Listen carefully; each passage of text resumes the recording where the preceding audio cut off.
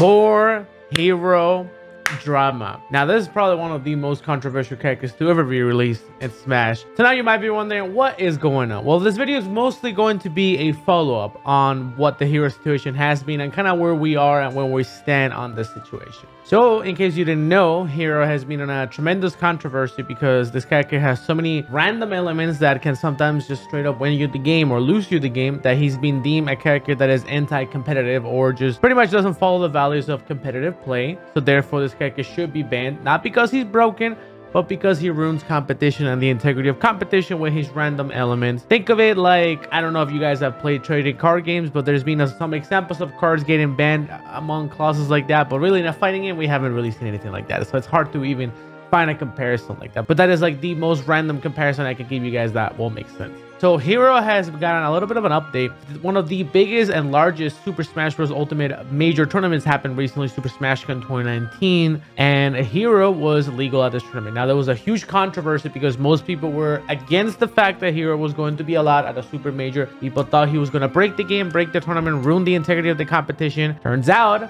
Hero was allowed at the event, and no Hero player was able to place anything better than 49th place. So the character that everyone was afraid was going to ruin the tournament ended up not really doing anything. So what happened? Well, is Hero a bad character? The answer is not really. Like, what people need to understand is that when a new character comes out, people take time to get better at these characters. Like when MKLeo started playing Joker, he didn't really win the first couple tournaments. He lost like three or four tournaments in a row before he found himself winning a tournament.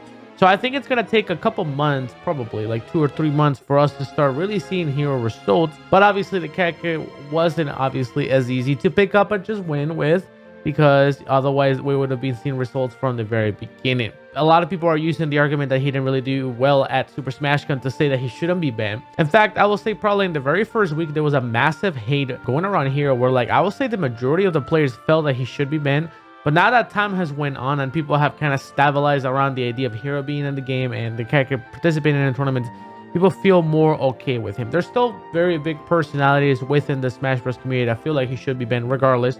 For example, Leffen is probably the biggest name in Smash that wants him banned. There's been a couple people that have given good arguments to ban him, uh, but are not necessarily completely pro-ban, such as Armada. But Armada has like a much more complete argument that I, I recommend looking at his entire argument before placing him on one side of the fence or the other. I kind of wanted to give you guys an update to like where we stand in the community because it's a little bit of a uncertain for a lot of players to invest time into a character that may potentially get banned down the line. So uh, I find really interesting uh, to read articles that kind of came out recently. For example, this article from Polygon came out on August 20, which is a little bit after um, this entire thing happened. And, you know, I'm making this video a couple days later.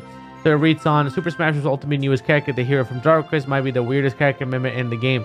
Since his release last month, the Smash community has argued where he's placed in high-level competition. Recently, a group of events in Australia chose to ban him from play altogether. That is true. You know, he still remains banned in some parts of Australia. What's crazy to me is that Hero was released, what, at the end of July? But we're still, it's still less than a month into this character and there's been so much controversy. Regardless, let me just keep on reading this article. This is just a little bit more context for people that are not used to it. Uh, then it says that things get really weird. However, when Hocus Pocus is thrown into the mix, Hocus Pocus produces a random effect, anything from a super powerful attack to a self-destruct, and each move within the Hocus Pocus pool has its own rate of appearance. A player wanted to turn invisible, for instance, they will have to be lucky enough for Hocus Pocus to show up in command selection. So like the whole Hocus Pocus freakout, I really feel like it became a big issue because it can have some very degenerate problems. So for example, if we look at a video like this. One. Yeah, as you can see.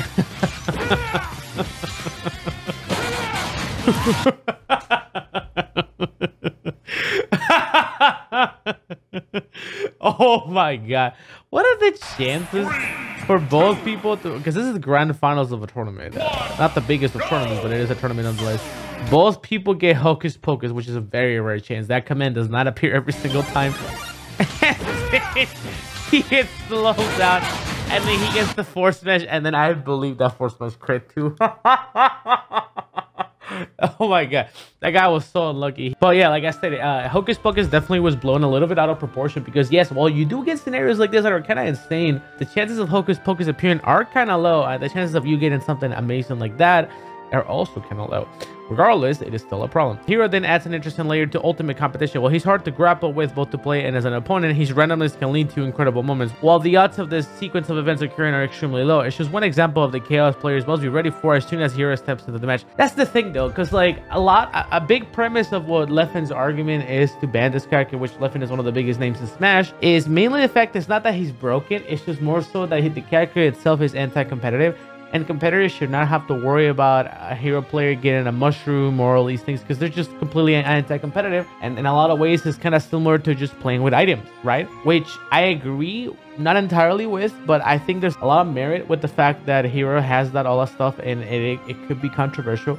Like now that we have moved a couple weeks from release hero hasn't really been winning tournaments. He hasn't really been as degenerate. We've gotten a massive amount of clips that are extremely hilarious about the character but the character hasn't necessarily been running the game as many people expected. I personally think the biggest problem with hero legality is the fact that he doesn't really have the logistics on his side, right? Like, for example, if you have international players, uh, I think they should update the game and add symbols next to the command so then these can be globally recognized and people have to learn something that is easily recognizable and, you know, straight to the point. Um, so the character can be international because otherwise you're going to have people come to America, you know, they don't speak English, they're going to struggle to participate in the tournament fight a hero, or people go to Japan, or if they go to all these other countries, it's going to create a mess. And it's going to create a gray area where people are going to have issues with the rules because someone's going to say, well, what if I can counterpick my language or stupid, stupid things like that? Like I've seen some people say that you should be allowed to counterpick language. So for example, if I'm playing another hero, then I can make the language Chinese or something, and then they can't understand what the hell's going on. You know, things like that are, are going to be thrown into the mix because, uh, you know, the rule set has to be updated. Uh, people have to account for these scenarios that are going to happen. This randomness immediately made here a contentious uh, fight figure in the competitive Smash Ultimate community, with some even calling perhaps facetiously. I think I said that wrong. For as, as soon as Series Director Masahiro Sakurai demonstrated Hero's techniques during a pre-release broadcast.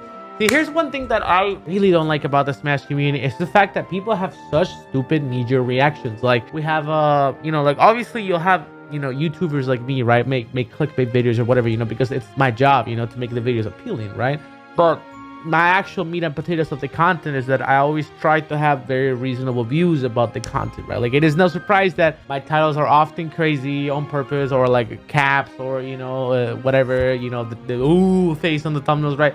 We, you know, I do things like that on the videos because it works, right? It, you know, it's my job. I want you guys to click on the videos and watch them because that's how I make a living. But like the meat and potatoes of my content is always try to have, uh, reasonable stances towards topics, try not to be biased. And I really think the Smash community has extremely knee-jerk reactions. Like before I even made any type of content, people in my Twitch chat, people in the, you know, um, the Twitterverse, we're all yelling already for this character to be banned right after he was presented. Like a day before he a day before he was officially announced to be released, people were already like banned this character because I saw him in the video trailer and he looked broken, so whatever ban him. You know, it's like people are not really willing to I don't know, have reasonable stances like, hey man, let the character come out, let's see how he plays out and you know, let's go from there because like my perspective has never really been on the fence of let's ban him, and let's not ban him. Uh, I will say I'm more slightly more towards not ban him, but it's not really one way or another completely because my stance is simply, a if this character proves to be a problem, let's let him participate in the meta, and if we see him be, you know, be ruining the integrity of the competition, then let's have this conversation again. But like you know, simply banning a character in my in my eyes, at least. Banning a character before they really do anything, it's just it's restrictive, and I don't think it really, I don't think it really is good precedent because it's a it's pretty much the problem of a slippery slope because like well, if we ban a character before they really even did anything, then the next time we have a Bayonetta, Meta Knight, whatever Ice Climber scenario, uh, then that's gonna get banned right away as well. And then it's going to create a pretty much a circle where we're just outright banning things. And i know a lot of people say that we should probably care about how like other communities look at us from an outside perspective. I say screw that because it doesn't really matter. Smash has always been its own kind of thing uh, you know trying to seek support from other communities is just never gonna really be it. Smash grew up on its own and it's going to continue on its own regardless. But trying to just appease our rules to outside people that are not even going to play them is pretty dumb in my opinion. Regardless I'm of the opinion that we should let the character stay for a couple months and then we should have this conversation later because I don't really see the argument right now. I feel like the only argument that makes sense is the fact that the character can somewhat be considered to ruin the integrity of competition, which to some degree it is true. Competitors should never have to worry about their opponent getting a super mushroom in the middle of bracket. But at the same time, there hasn't been many high level cases to pretty much see this as a problem. You know, Leffen argues that you know, we shouldn't wait for it to happen. We should do it preemptively. So that's kind of where our opinions clash in that matter. Let me know how you guys feel about that topic though. VGBootCamp did a uh, not a bot, but a, a poll recently where they uh, allowed people to vote and there were like, I don't know, 70,000 votes or something like that. I forget the number.